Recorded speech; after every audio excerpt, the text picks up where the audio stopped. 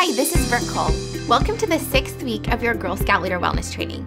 At this point, you have received training on the four wellness areas, including physical activity, healthy snacking, reducing sedentary time, and helping the girls build social connections.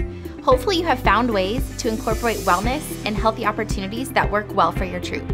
This will be an ongoing process, so let's make this halfway point a time to check in and see where progress has been made, as well as where there is still room for even more healthy opportunities for your girls. Think about your past few meetings and answer the following questions, just like you did during the first training video.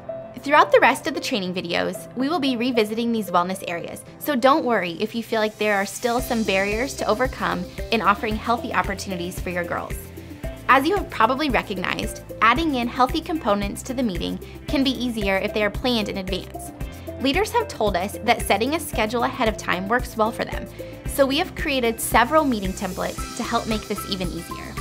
If you go to our website, www.scoutswellness.org, click the link for schedule building, it will take you to a page with several different meeting templates. You can choose the one that you think would work well for your troop. There are options for one hour meeting times, one hour 15 minutes, and one hour 30 minutes. These templates can be really helpful in seeing where the wellness components can be incorporated into your meeting.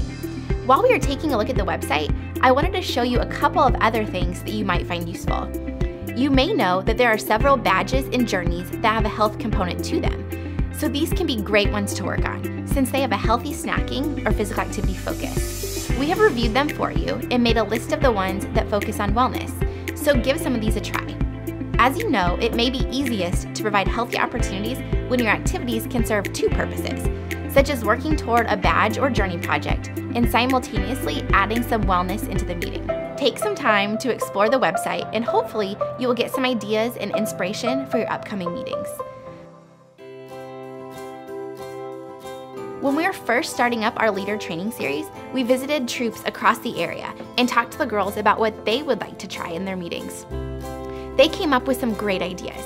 Here were some of the most popular answers fruit and vegetable taste testing sessions, recipe contests, dancing, and going on group walks.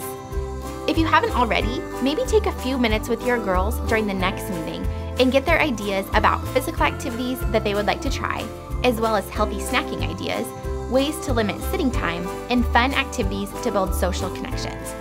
Remember that the journey to a healthy lifestyle can happen in a series of small steps.